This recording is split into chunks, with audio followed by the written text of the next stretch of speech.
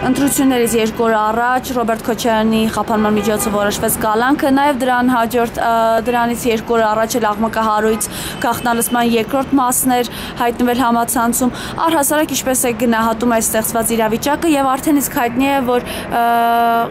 Ռոբերտ Քոչարյանի փաստաբանները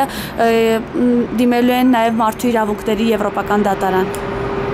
Դե քաղաքական պայքար է, քաղաքական պայքարը իր դրսևորումներն ունի Հիմա Քոչարյանին ձերբակալեցին, հետո ազատեցին, հիմա էլի քննեցին, հարցը հարմար գտան ձերբակալել։ Սա ընթացք է, ընթացք է։ Սեր չպետք է զարմանալ, սա դրականon ընթացք է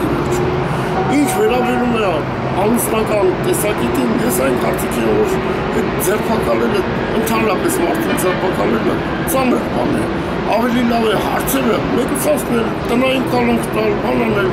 հարցերը քննել, պատճի չափ որոշել, եթե գողոնը, գողոնը վերադարձնի, Աստված հեռու պայես, մարդասպանությունը արդեն ուրիշ բան է, մարդասպանությունը արդեն քրեորե պատժելի է ծանր հանցանք։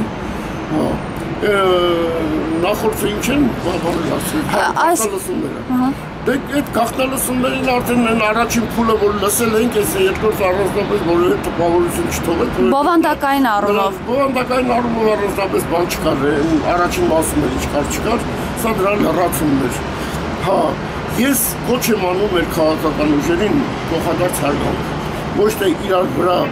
ցեղ շպրտել, ոչ թե իրար չեղած բաներ վերագրել, անգամ եղած այսպես մեռած բաներ, այն քիչ առողջ, առողջ, առողջ, առողջ պայքարի մեջ իրար հանդեպ վերաբերմունք ճշտել իրար հետ։ Առողջ պայքարի մեջ, իսկ առողջ պայքարը նախ եւ առաջ ընդհանրում է խելք։ Խելք պիտի ունենալ, խելք, խելք, գիտես այդ ինչա։ Մարդու խելք առը դառնում արդեն կենթանի։ Ուրիշ բնազդներ են առաջնորդում խելք եւ բան քաղաքական զգոնություն, որովհետեւ իհարկե նրանց ամեն մի շարժը գործում երկրի ճակատագրի հետ